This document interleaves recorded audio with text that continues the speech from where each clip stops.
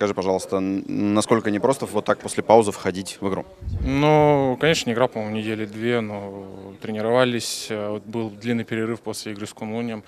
Э, Физически подготовились, поэтому сегодня вышел. Особо, честно, не устал, но была игра напряженная, поэтому благодарен партнерам. Все равно два очка, есть два очка. Хотелось, конечно, на ноль, но Магнитка тоже э, давила третий период очень хорошо, поэтому, считаю, заслуженно они выиграли период 3-0. В эту- 2-0, извините. Да, в эту паузу. скажи, как ты готовился? Как обычно или, может быть, какая-то была особая работа с тренером вратарей? Просто по- по- пораньше выходили на лед, побольше работали на техникой. Ничего такого особенного, как всегда. А в первых двух периодах, ну, ты сказал сам, что не очень устал, да? Действительно было мало работы? Нет, работы хватало, просто после перерыва сил много пока. Хорошо. Не нервничал Игорь, когда вот э, забили они, да, 6 на 4, 6 на 5, там, по-моему, и третье, и третье могли пропустить. Вот как-то норм- нормально.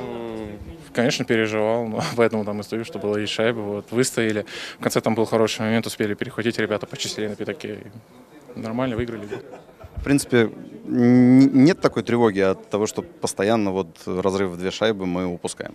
Нет, это хоккей. Будем учиться на своих ошибках. Завтра в своем видео, что, может быть, где-то что-то не делали не так.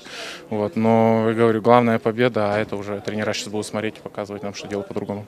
В принципе, можно сказать, что такой демонстрируем весь старт сезона характер, да, из-за того, что шесть травмированных основного состава. Ну да, считаю, что у нас э, много ребят основных нету, и все равно э, играем такой же агрессивный хоккей, все ребята везде успевают, поэтому да, считаю, что это большой плюс.